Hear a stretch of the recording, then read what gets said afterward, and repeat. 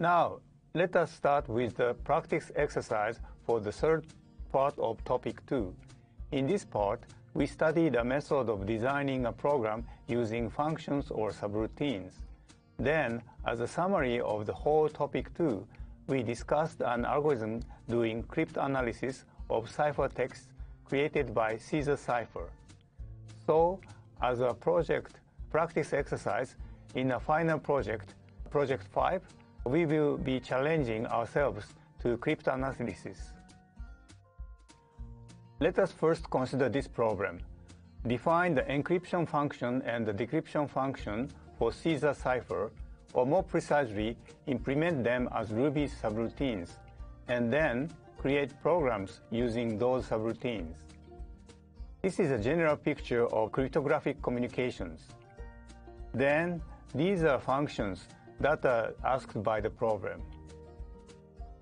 Well, these are mathematical functions specifying the goal of each computation. For example, this enc given a pair of a key and, and that is a shift number and the plain text, we want to compute the ciphertext for this plain text by shifting k letters.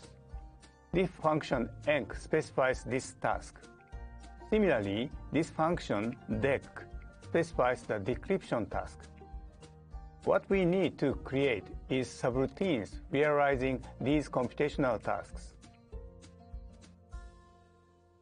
But since we have already created a program for encryption, the subroutine implementation is not so difficult. You can simply convert it in this way. Let me explain first the whole structure. In Ruby, the definition of the subroutine always starts with DEF, which is followed by the subroutine name and the tuple of arguments. In our case, enc, ENC, is the name and its arguments are K and M. By the way, the definition of subroutine is given between this DEF, DEF statement and the corresponding end statement. In this example, this is the end statement, so the whole of this box is the definition of subroutine enc. Once subroutine is defined in this way, it can be used like a standard function in Ruby. I will explain this later. Now consider the body of the subroutine. The computation itself is exactly the same as uh, here. The difference is indicated by blue fonts here, First, in this side, we had to uh, set K and read M. But in this side, since it receives K and M as an argument, there is no need to set K nor read to M in. Another difference is this return command. In a program, the standard way to report obtained result is to output it on the screen. So we have an output command like this. Here, on the other hand, a subroutine usually reports the result as a function value. The return command does this task. When execution of the subroutine reaches to this return command, the execution will go back to the place where the subroutine is used as a function. At that time, the value stated here is reported as the value of the function. In this example, the value of this string variable c, that is the computed ciphertext becomes the value of the function enc. This is the definition of the subroutine enc. Next, consider the subroutine realizing the decryption. Since we have the definition of the subroutine for encryption, defining the one for decryption is not so difficult. The subroutine for decryption is defined like this. Let us call it DEC, DEC. You see, enc and dec are quite similar. Again, I use blue characters to identify the different points. They are mainly the changes of variable names. The essential difference is this one, the minus k shift operation achieving the reverse shift for decryption, recovering the original plain text from the ciphertext. We will consider this at the actual programming. Now that we are able to define two subroutines, these two subroutines, we can easily create programs using them for encryption and decryption. Let us name each of these uh, as encrypt.rb and decrypt.rb. Here are these two programs. Let us see the encryption program, encrypt.rb. This part is for the definition of the subroutine enc. Then, this is the main part of the program.